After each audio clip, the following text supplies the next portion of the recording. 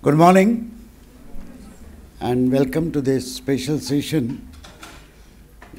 I'll not take much time, but I would like to tell you in a few minutes why this documentation is important and why through this documentation and through interactive communication we should be able to contribute much better to the global open source community.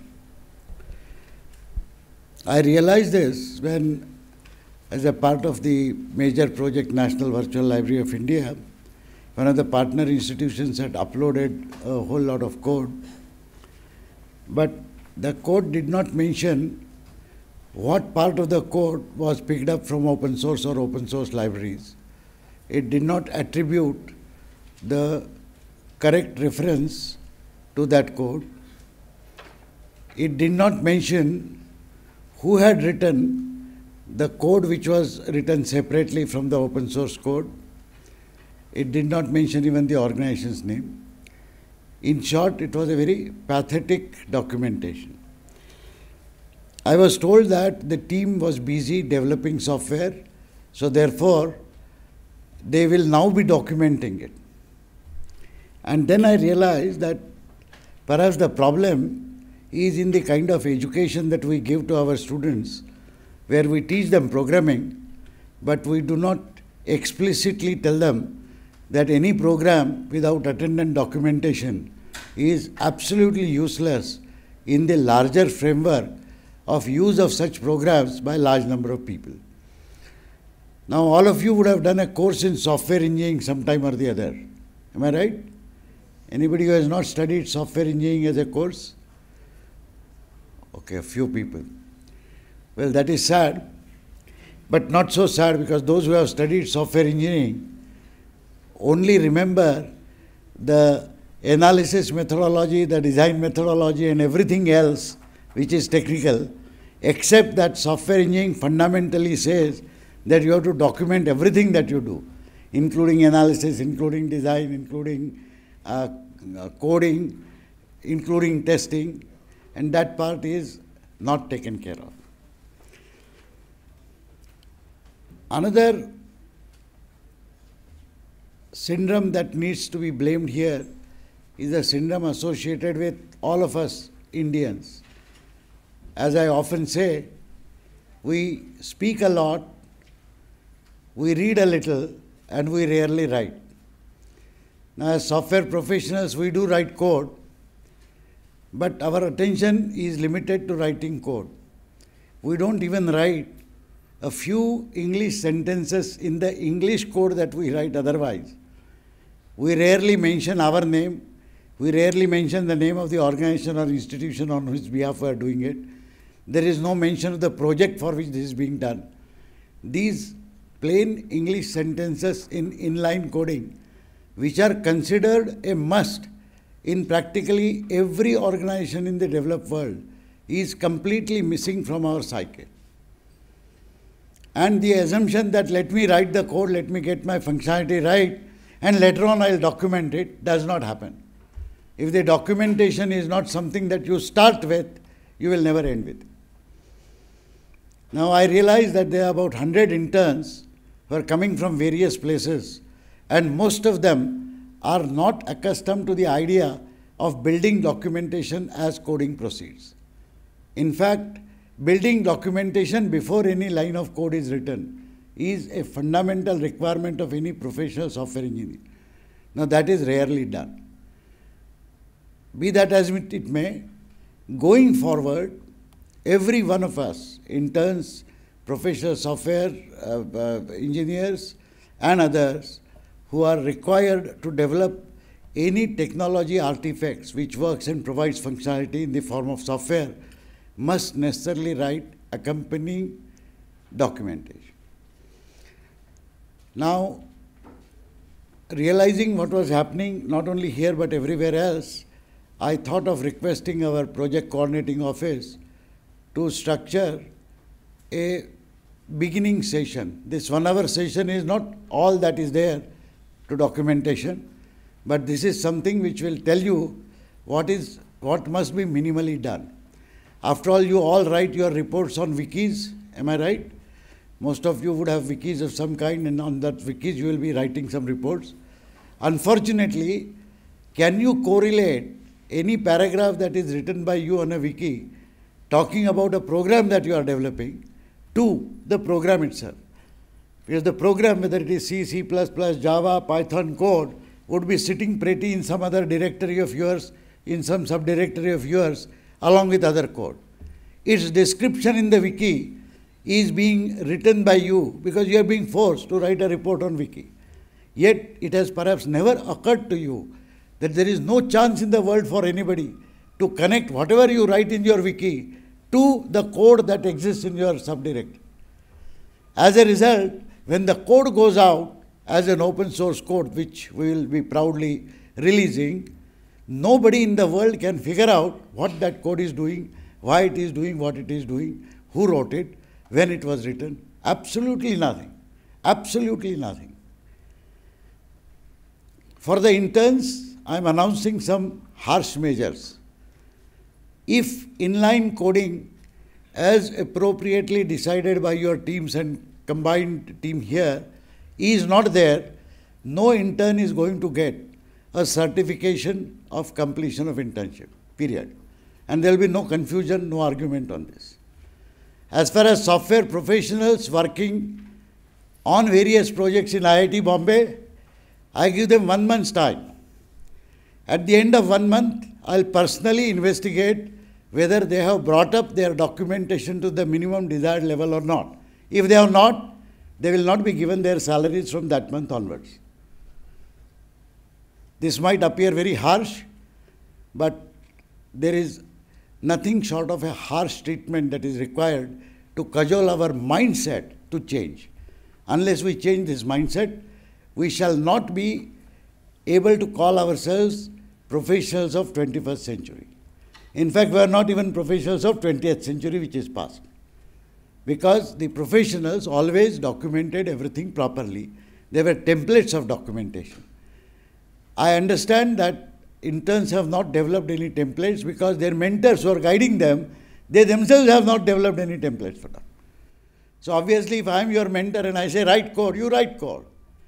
If I had said right on day one that this is the template with which you start, you first fill in which project you are working in, what is your name, what is the name of the team, what functionality you are doing, what is the reference to wiki. Unless you write that, you will not write a single line of code. No mentor has ever said this to you, I suppose and you did not say it to yourselves because it did not occur to you that writing that is at least as important as writing the code itself. Without it, the code loses its value, particularly when it is intended to be used by a larger community across the globe. All of you use some open source software or the other. You must have analyzed thousands of lines of code for its functionality and so on. How many of you have paid attention to the minimal documentation that accompanies such code? More importantly, how many times you would have cursed the original author of that code, saying, "Kya likha hai, kuch samajh mein nahi aata hai, there is no documentation. Now, you have every right to be critical about others, but are you self critical to the same extent? Are you not doing the same thing by producing code which somebody else will say, Kya likha hai IIT mein logon? So, that is not on. And that is the reason why I am suggesting these harsh measures. This will apply to all of us, including me. Fortunately, I don't write much code, I only write documentation. But it is very, very important now, uh, the team of uh, Yugansh and uh, Riha, can you raise your hands, please? under the leadership of Parag. Parag, he is the program coordinating office chief here. They actually do project management for many large projects, and they are the ones who are required to set up such standards. Actually, I must fire them that anticipating 100 odd interns would be descending in IIT, which they do every year. You should have proactively decided to do this and release this, but better late than never. So please listen to whatever they are suggesting. They have prepared some kind of a framework that you should follow. Arguably, this is not the last word. There could be many variations or something. But one thing is without any doubt that you will not write a single line of code from today onwards unless some basic minimum documentation is written. You will not write, period. No matter whatever is the urgency of delivering that functionality. And believe me, writing simple documentation, filling up templates, does not really take more than 15 minutes in a day. But if you don't spend those 15 minutes, then there is a problem. Of course, a proper documentation requires iterative reviews and corrections. I learned this from some of great teachers here, my own guru, late Professor Kekre and Professor Sukhatme. When I was Dean uh, Resources, I would write a letter overnight, a rather wrong letter, uh, to some group of alumni regarding discussions about some donation. And I will send it to him as a courtesy, he was the director, saying, Professor Sukhatme, I wish to write this. And they will say, thank you, I'll get back to you. And for two days, he will not get back to me. So when this happened twice or thrice, I went to him and I said, What's the problem? He says, No, I have circulated it to three other colleagues. Then those three colleagues look at that, add their own thoughts, correct sentences, change phrases, and give that back. Then Professor Sukhatme would personally sit across and edit that. One page later would take three days of effort by three senior professors to write.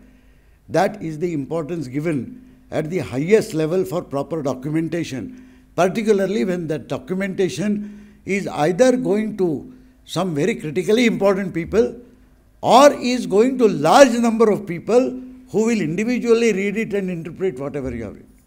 So that is the precaution that we need to take. And this is part of professional communication. So I'll not spend more time elaborating this. I hope you understand this. But for the people who have come late, I will repeat my harsh decisions. They are not really harsh, they are for your own benefit. Number one, any intern who from now onwards does not first write minimum documentation that is required for whatever you have done and going forward does not complete such documentation for every line of code that is written and delivered will not get the internship completion certificate. For all programmers and software engineers who are working in IIT Bombay, they are actually being paid monthly salaries, reasonably good, I would say, not very good, but reasonably good. They are being given one month to correct the situation, first and foremost, to write the template based documentation and connect it with whatever code they have written so far, at least in last one year, let us say. This may take about a few days of time. Going forward, they must ensure that they and their teams write appropriate documentation such that the code as and when it is released to open source community we should not become a laughing stock of the community but rather we should feel proud because people will say ha IIT Bombay has done reasonable document. Otherwise just like interns will not get their certificate of internship my staff members will not get their salary after one month. And that I, I don't those who know me know that I don't generally give threats which I cannot execute. So this is actually a threat because we need to move ourselves, shake ourselves out of a slumber which we have gone into. It's called the zone of complacence. We are very comfortable. IT environment is good. Food, as people reportedly said, is reasonably good. People are used to it. The staff members who stay here, they have got quarters here or nearby. They are all happy doing whatever they are doing, which is how it should be. And of course, they are doing a lot of creative work, all of you. I admit that and I admire that. But don't do it because all that you do amounts only to 50%. The remaining 50% decides the quality and acceptance of whatever you do in the global community. So please pay attention to this. I'll repeat again that whatever they are showing today is not the final word. This is the first attempt that they themselves have made in giving you illustrations of some documentation and suggesting some documentation framework. It is perfectly fine that individuals or teams amongst you come up with suggestions for such templates. For example, if you are working on some peculiar problem which requires some additional documentation or different documentation. Or if you feel that the framework that is being given could be augmented or corrected or modified further to make it better, you are most welcome to put your ideas. I would suggest you start a idea contest. In fact, we'll even honor individuals and teams who come up with better ideas of documentation, particularly simplifying it such that if there is a ready-made template, then by editing it simply within a very uh, small amount of time invested, they should be able to get a comprehensive. So that's all I had to say. Thank you so much.